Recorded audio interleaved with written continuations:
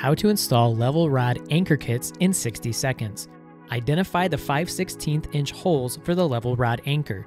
If necessary, compress the level anchor flanges so that the fitting can fit inside the hole. Line the fitting against the hole and using a dead blow hammer, hit the fitting into the post. During this step, make sure to hold the fitting so it does not fall inside the post. Once the fitting is in place, use the level anchor tool to open the flanges. Insert and fully thread the level anchor tool into the level anchor fitting. This will open the flanges inside the post and lock it into place. Run the rod towards the level anchor fitting, passing the rod through any intermediate posts and foam inserts. Select a threaded crimp fitting and insert it into the open end of the rod. Using the crimping tool, crimp the fitting twice. It is important to crimp the rod threaded crimp fitting in the depression of the fitting. Please note if the crimping process has raised the rod material, you can use a Dremel tool or an angle grinder to smooth down any ridges.